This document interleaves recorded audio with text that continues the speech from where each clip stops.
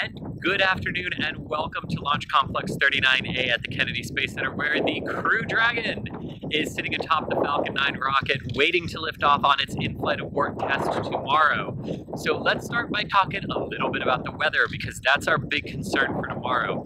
Launch weather right here on the ground at 39A actually perfect, absolutely perfect, exactly what we want.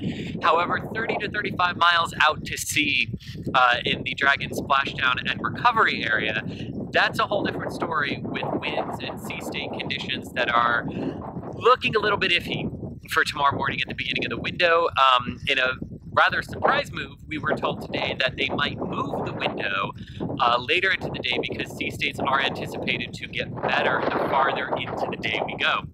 So that is an interesting thing and made possible by the fact that Dragon isn't trying to rendezvous with anything.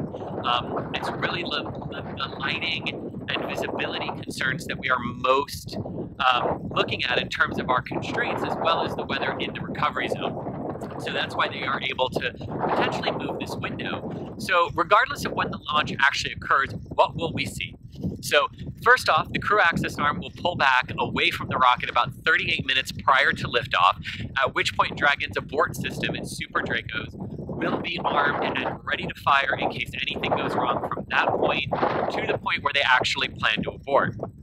The fueling process will unfold exactly like a normal Falcon 9 mission does, with RP-1 kerosene and densified liquid oxygen beginning to pump into the first stage of the Falcon 9 at T-minus 35 minutes, and RP-1 kerosene beginning to flow into the second stage at T-minus 35 minutes as well.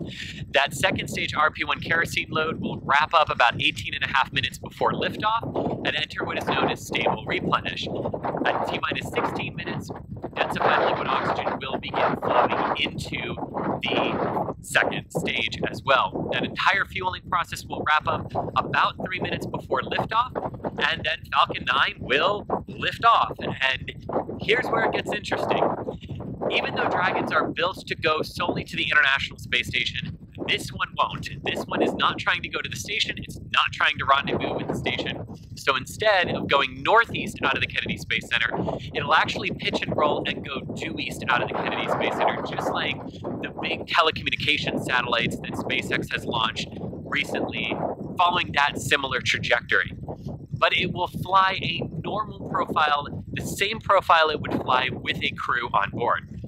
84 seconds after liftoff, when Falcon 9 is about 19 kilometers in altitude and 4 kilometers downrange from the Kennedy Space Center and Pad A, the abort will trigger. And the way this they are doing this is a pre-programmed command into the Falcon 9's computers to shut down all nine Merlin 1D engines on the base of the Falcon 9 first stage. This will simulate a failure of the rocket that Crew Dragon systems will detect and initiate the abort by firing the Super Draco thrusters and separating the trunk of Dragon from the top of the second stage. The Super Dracos will fire for about 10 seconds, propelling Dragon very quickly away from the failing Falcon 9. The Dragon and trunk will then coast up to apogee or the highest point in the suborbital arc, at which point the trunk will separate and the Dragon capsule will reorient itself heat shield first for the entry sequence of the mission.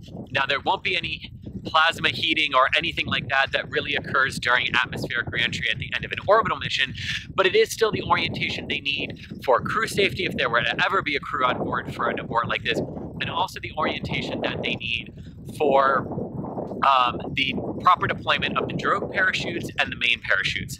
And all of that should culminate with Dragon splashing down into the Atlantic Ocean between 30 and 35 kilometers downrange, depending on winds, about 10 minutes after the launch 39A. Here's to a good in-flight abort. I'm Chris Gebhardt, Assistant Managing Editor of NASASpaceflight.com. If you haven't already, please subscribe to our channel and turn on notifications so you know all the times that we bring you these awesome behind-the-scenes tours at the pads and all of our videos. And please join us for our live stream that will start about an hour before liftoff tomorrow.